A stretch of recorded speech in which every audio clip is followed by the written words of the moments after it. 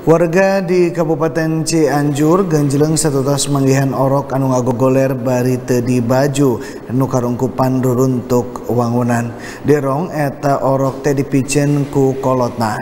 Warga anu manggihanana saharita mawa eta orok ka puskesmas pikeun dirawat lantaran kungsi hipotermia.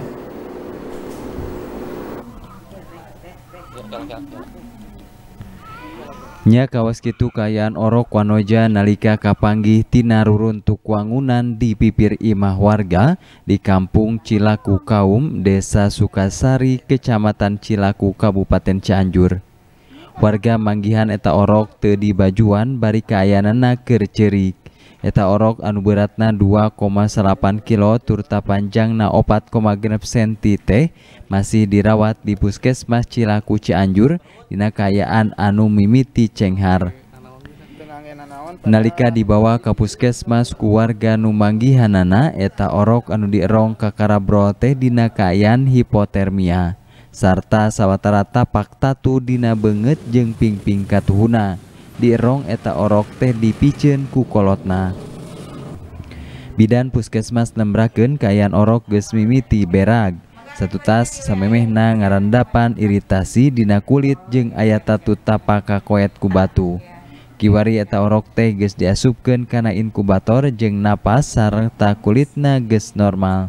Kalau sekarang eh, tadi sudah dibersihkan eh, dihangatkan di inkubator dulu suhunya biar normal dulu karena kan hipotermi alhamdulillah kalau sekarang mah udah bagus.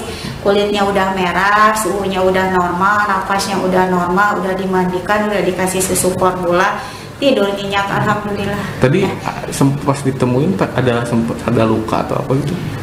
Kalau waktu diperiksa sih memang ada luka-luka gitu ya luka gores kayaknya kan karena tidak memakai pakaian sehelai pun mungkin di situ kan banyak batu banyak bekas-bekas apa bangunan ya karena ditempatkannya di bayinya gerak mungkin kena bekas-bekas bangunan yang Sajeroning kitu nuboga imah nembrakeun samemehna dirina ngadenge orok cerik pasu subuh nalika dirina keluar imah tur muru kapipir tembong orok teu dibajuan keur gogoakan saya denger dengerin itu uh, suara bayi teh masih ada ya? masih ada.